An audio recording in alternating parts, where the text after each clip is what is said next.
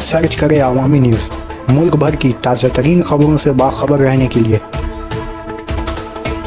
Subscribe करें हमारे channel को और बेल आइकन ज़रूर दबाएँ।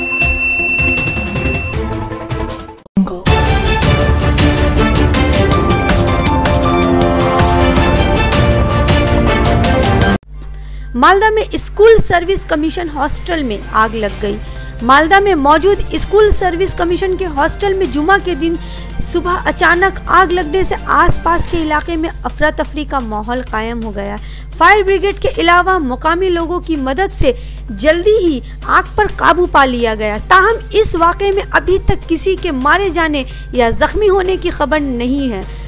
बताया जा रहा है कि मालदा शहर के मलंज एरिया में मौजूद स्कूल सर्विस कमीशन के दफ्तर के नज़दीक हॉस्टल के बावर्ची खाने से सुबह अचानक धुआं निकलते देखकर हॉस्टल के तलबा और तालिबात के अलावा इलाकाई लोगों में खौफ तारी हो गया जिसके बाद फौरन इस वाक़े की जानकारी फायर ब्रिगेड को दे दी गई थी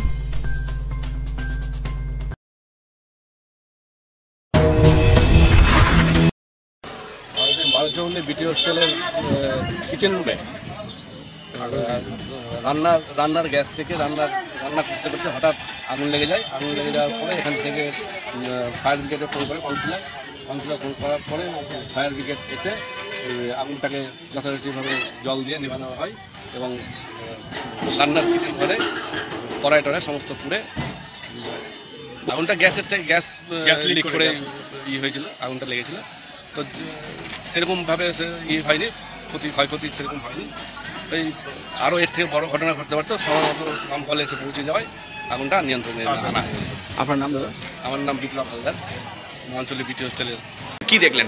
হ্যাঁ আসে দেখলাম যে আপনাদের গ্যাসে আগুন জ্বলছিল। তো তাতে দরজা জানলা বন্ধ ছিল।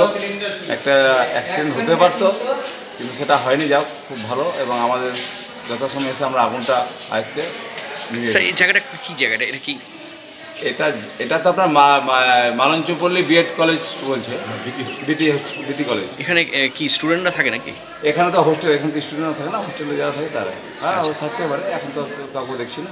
মানে কি হতে পারতো স্যার যদি না অনেক কিছু হতে পারতো। অনেক কিছু হতে পারতো। এটা ভয়াবহ আকার নিতে পারতো। তো এখানে গাফিলতি কিছু দেখছেন? গাফলতি আর দেখ গাফলতি বলতে কিছু না একটু একটু কেয়ারলেস ভাব। আর কিছু না এখন কতটা নিয়ন্ত্রণ? আর পুরোপুরি আপনি ঠিক আছে।